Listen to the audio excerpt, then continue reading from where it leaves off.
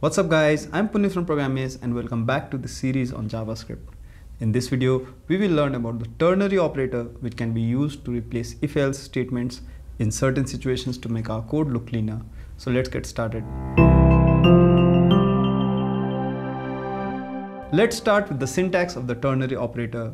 The ternary expression starts with the test condition like x less than 0 or name equals to Puneet or anything that evaluates to true or false.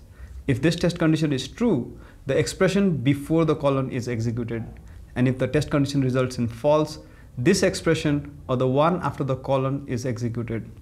As you can see from the syntax, the ternary operator takes three operands, hence the name ternary operator. Now let's see an example of the ternary operator. On my code editor, I'll create an age variable and assign a value 15 to it.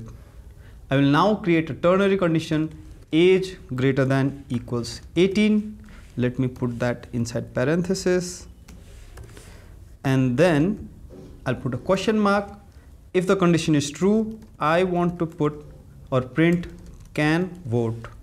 Similarly, if the test condition is false, I want to print cannot vote. Let me run this program. As you can see, cannot vote is printed. This is because here the age is 15, which is not greater than equals to 18. That means this boolean expression is false. And that is why the part after the colon or console log cannot vote is executed. And that's why we got cannot vote as an output. If you're enjoying this video, please also check out Programiz Pro, where we provide tutorials along with quizzes and challenges, which will help you practice and test your learning in real time. Also, the course includes projects to give you an awesome experience of how programming works in the real world. And for our YouTube subscribers, we are giving 50% off on the yearly plan. Sign up by scanning this QR code or use the link in the video description to claim your discount. We saw how to use the ternary operator. As per our need, we can also return a value from the ternary operator and assign it to a variable. Then we can use the variable after that. Let's modify this code. I'll create a result variable and I'll assign the value or the return value of the ternary operator to the result variable.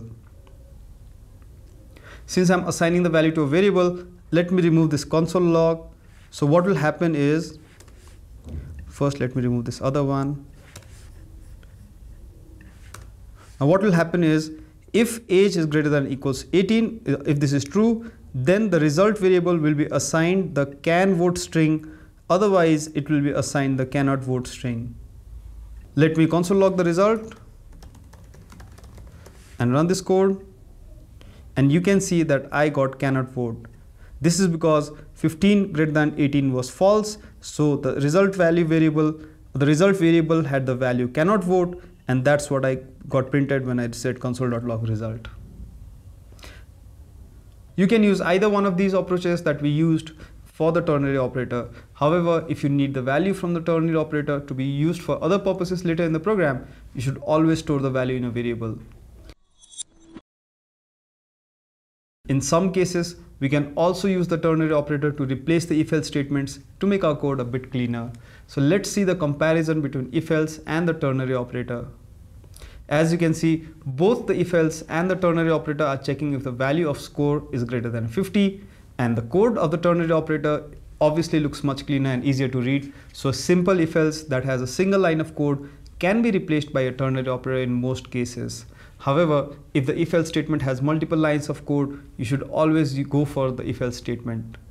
Okay guys, we need your support to keep these kinds of content free for all users. YouTube really likes engagement on the video, so leave a comment below, press that like button and hit subscribe if you haven't already.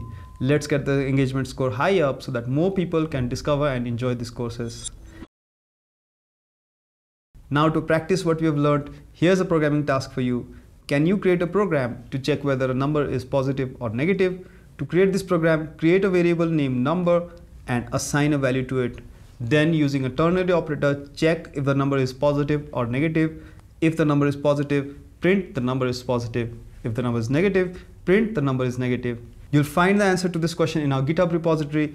And if you want to revise these concepts, you can find all these programs in our GitHub. I'll put the link in the video description. Now that we've reached the end of this video, it's time for the programming quiz. What is the correct ternary equivalent of the following if-else statement? Comment your answer below. Happy programming.